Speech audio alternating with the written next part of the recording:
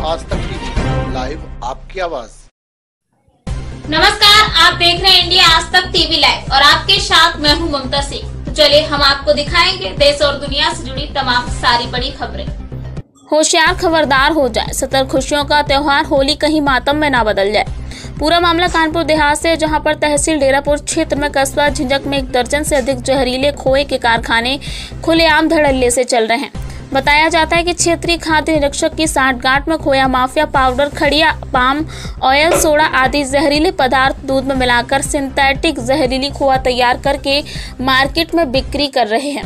झिंझक कस्बे में एक दर्जन से अधिक सिंथेटिक खो के कारखाने चल रहे हैं। खोया माफिया शैलेंद्र बबलू रंजीत अपने कारखानों में दर्जनों कुंटल जहरीला खोया तैयार करते हैं और कस्बा झिंझक कानपुर, लखनऊ, गोरखपुर बिक्री के लिए भेजते हैं।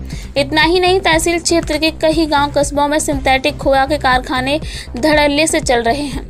लोगों का कहना है कि क्षेत्रीय खाद्य निरीक्षक दस हज़ार से बीस हज़ार प्रति माह कारखानों में कमीशन लेते हैं, जिसमें खोया माफिया बेखौफ होकर सिंथेटिक जहरीला खोआ बनाते हैं। खोआ माफिया मनुष्य के जीवन के साथ खुलेआम खिलवाड़ कर रहे हैं।